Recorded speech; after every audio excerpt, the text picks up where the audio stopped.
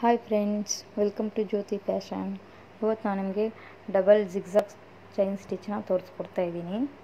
ಮೊದಲಿಗೆ ಈ ಥರ ಸಿಂಗಲ್ ಜಿಗ್ಜಾಗ್ ಚೈನ್ ಸ್ಟಿಚ್ ಹಾಕೋಬೇಕು. ನೋಡಿ ಈ ಥರ ಇದು ಕಂಪ್ಲೀಟ್ ಆದಮೇಲೆ ನೆಕ್ಸ್ಟು ಇದೇ ಥರ ಆಪೋಸಿಟ್ ಡೈರೆಕ್ಷನಲ್ಲಿ ಹಾಕ್ಕೊಂಡ್ರೆ ನಿಮಗೆ ಡಬಲ್ ಚೈನ್ ಸ್ಟಿಚ್ ಅನ್ನೋದು ಬರುತ್ತೆ. ನೋಡಿ ಫ್ರೆಂಡ್ಸ್ ನೋಡಿ. ಮೊದಲು ತೊಗೊಂಡಿರೋ ಆ ಒಂದು ಚೈನ್ ಸ್ಟಿಚ್ ಮಧ್ಯದಿಂದ ಇನ್ನೊಂದು ಚೈನ್ ಸ್ಟಿಚ್ಚು ಅದೇ ಹ್ಯಾಂಗಲಲ್ಲೇ ತೊಗೊಂಡು ಹಾಕ್ತಾ ಹೋಯ್ತು ಅಂದರೆ ನಿಮಗೆ ಡಬಲ್ ಚೈನ್ ಸ್ಟಿಚ್ ಅನ್ನೋದು ಜಿಗ್ಜಾಗ್ ಸ್ಟಿಚ್ ಅನ್ನೋದು ಫಾರ್ಮ್ ಆಗುತ್ತೆ.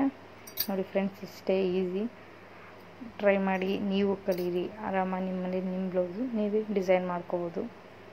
ಓಕೆ ಫ್ರೆಂಡ್ಸ್ ಬಾಯ್ ಇದು ಇವತ್ತಿನ ವಿಡಿಯೋ ನಾನು ಇದೇ ರೀತಿ ಸಿಲ್ಕ್ ಥ್ರೆಡಲ್ಲಿ ಕೂಡ ನಿಮಗೆ ತೋರಿಸ್ಕೊಟ್ಟಿದ್ದೀನಿ.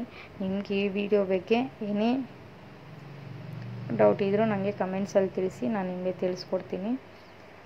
Okay friends bye thanks for watching video please ಈ ವಿಡಿಯೋ ನಿಮಗೆ ಲೈಕ್ ಇಷ್ಟ ಆಗಿದೆ ಪ್ಲೀಸ್ ಲೈಕ್ ಮಾಡಿ ಶೇರ್ ಮಾಡಿ ಆ್ಯಂಡ್ ಸಬ್ಸ್ಕ್ರೈಬ್ ಮಾಡಿ.